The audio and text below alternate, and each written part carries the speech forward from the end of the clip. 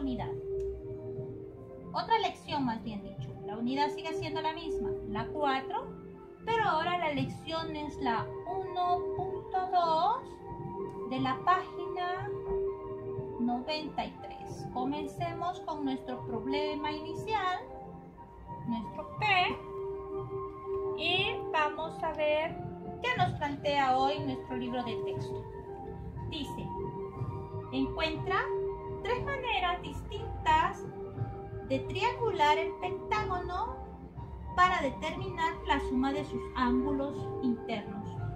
A desde un punto interior, B desde un punto del borde, C desde un punto exterior y quiere que comparemos los resultados. Bien, veamos. Como son tres preguntas, voy a dibujar tres pentágonos para que no se me haga una sola mezcolanza. Vamos a ver.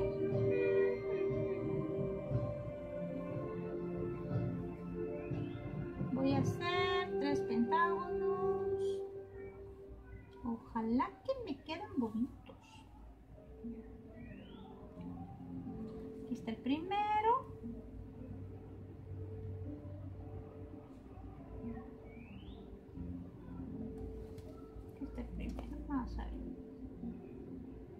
Qué bonito.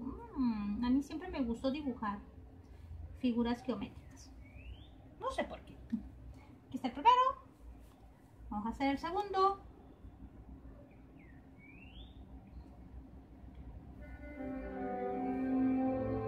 Los estoy dibujando así porque me place, pero la verdad es que el libro de texto eh, no lo da tan regular y lo tiene movido.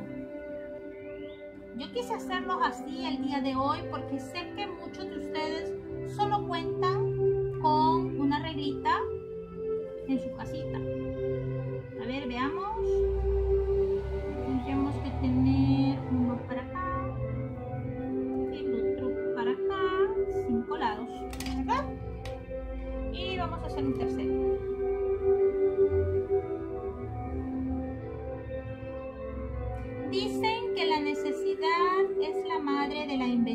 Y yo creo que es cierto.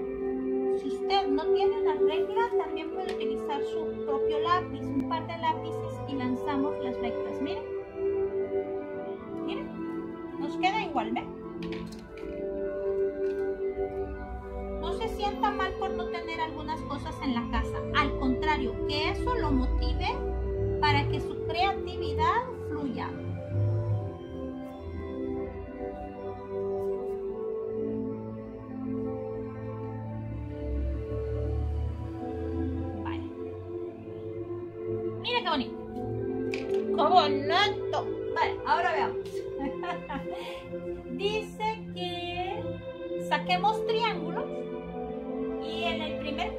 En el caso A, dice que quiere que el punto esté en el centro. Es decir, yo voy a tener un punto acá y de aquí sale todo mundo.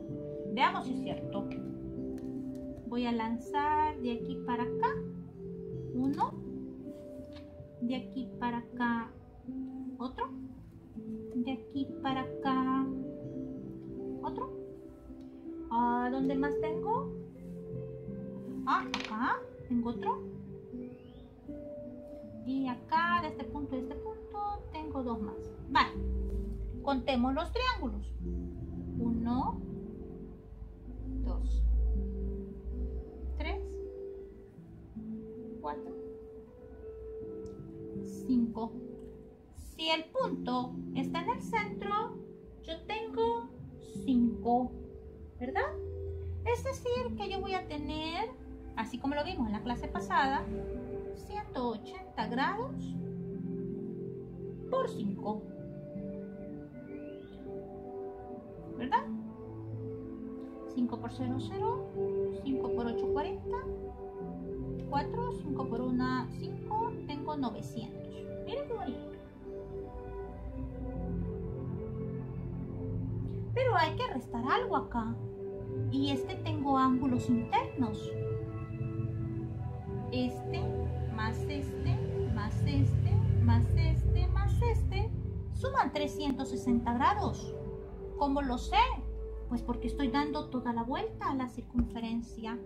Por tanto, yo tengo que restarle a estos 900 360 grados. Veamos cuánto me da.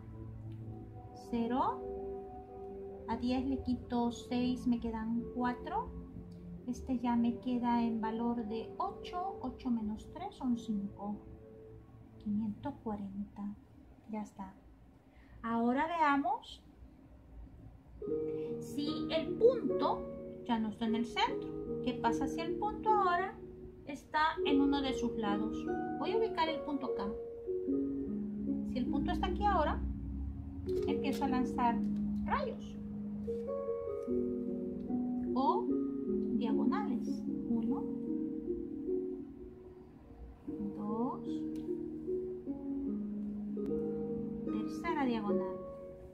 Veamos cuántos triángulos tengo.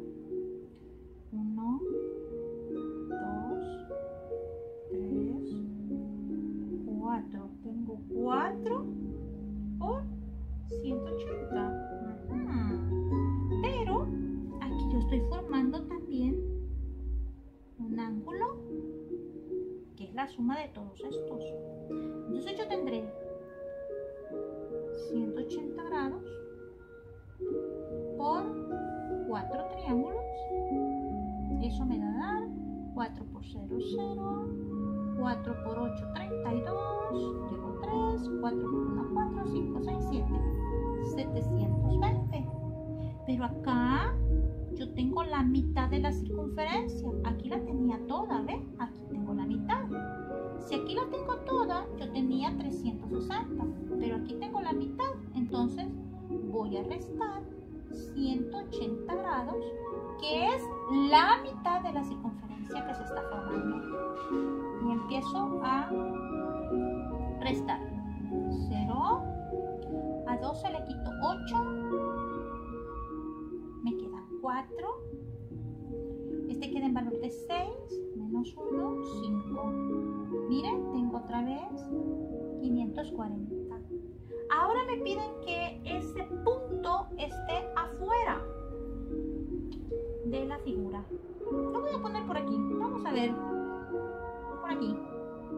Voy a empezar a lanzar mis diagonales. La primera.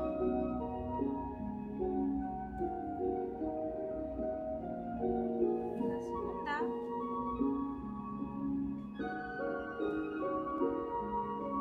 Tercera. Cuarta. Quinta. El punto está acá, miren. Y este no lo, voy a poner aquí chiquito porque de mí. Ajá. Veamos cuántos triángulos tengo. Está simpático el asunto. Aquí hay uno. Uno. Dos. Tres. Este de aquí, cuatro. Tengo 180 grados por 4. Otra vez tengo 720. Y veamos ahora que nuevamente yo tengo 180 grados. Y como estoy en relación a un lado, estoy hablando de que ese, ese punto hay que quitárselo. Bien, restémoslo. 180 grados, vuelvo a tener 540. Acordémonos que estamos haciendo el punto acá, externo, ¿no? Este es nuestro lado, este que se ve acá, espero que se logre ver, es este. Este es nuestro pentágono, voy a tratar de, de remarcarlo para que se vea lo mejor posible.